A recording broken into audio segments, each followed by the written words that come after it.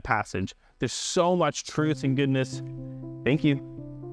Thank you. So today I want to unpack a little bit of what we didn't get to talk about on Sunday. A bit about. Uh, do you want to keep going? I can start back. Hi, my name is Andrew Scibbe. I had the honor of bringing the message this last week, and this past Sunday we talked about God's love. We were in Romans chapter 5, verses 6 through 11, and we really narrowed in on Romans 5 8.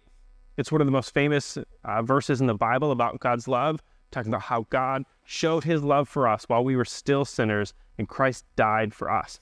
And there's so much packed into those verses that I couldn't have possibly gone through all of it. I would have been there for hours. So we saved a little bit to talk about today. Now, we really focused on God's love and what it means to us and how big, and we just looked at the magnitude of the love that God showed towards us. But we didn't really get a lot of takeaway. We didn't talk about what do we do with God's love. I wanted to set it up so that at the end of the service, we had a song and people could reflect and worship and rejoice in God's love. So today, I want to talk a little bit about what we can do and how we can take that love out uh, into the world. So when we think about God's love, it really impacts every aspect of our life. There are a thousand different applications we could come up with for how God's love impacts our lives.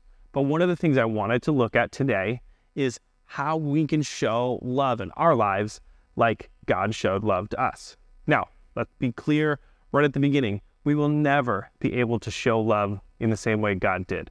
His love is far greater, deeper, and wider than we can ever possibly imagine.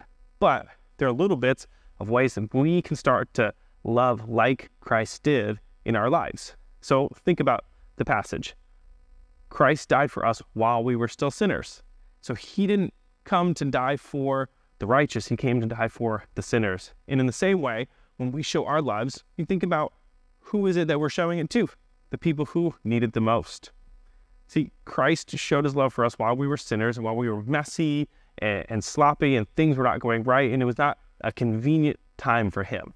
In the same way, we have people in our lives who are, are messy and sloppy, and it may not be convenient to show our love at a certain time, but that's how Christ showed his love for us. So think about who it is that you have in your life. Do you typically keep the, the well put together and clean cut people around, the people who don't have any issues or problems? Is that who you surround yourself with and, and show your love towards? Or do you find yourself going towards the outcast, the sinner, the people who other people aren't drawn towards? So Christ was drawn towards sinners, and in the same way we should be too. Now, that's not saying that uh, you have to go find uh, the worst person you can and that has to be your new best friend, because everybody in your life is going to go through times where they are messy and hard to love and inconvenient. So, are you there for the people around you, especially in the times where they're struggling, where they're having challenges, or it's inconvenient to show love to them? So, God's love came to us in that way. And one of the things that His love does for us is it frees us to be able to love. Because later in our passage, it talked about how God justifies. It was by the blood of Jesus that all of this happened.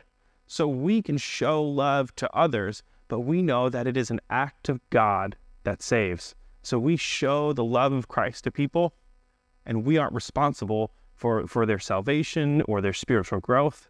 That's what God does. And so in that, we are free to, to love indiscriminately and as big and, and lavishly as we possibly can, emulating God and his crazy deep love that he showed to us. And we can do that in freedom, knowing that the results of showing love in the world are in God's hands. And that way, I just encourage you to think about who is in your life. Who's somebody that maybe you haven't reached out to recently? Maybe somebody that you can think of in your mind at, at your work or, or your friend group or your family who may not be the one who gets the most amount of love shown towards them. And would you think about how you could reach out and make contact or do something to serve that person, the person who is maybe unlovable or hard to love at this point in time. So think about where you were when you met Christ and when you first encountered his love. Remember, Ephesians tells us that we were dead in our trespasses and sin. So there's nobody that is too far gone and, and too sloppy and too messy for us to show love towards.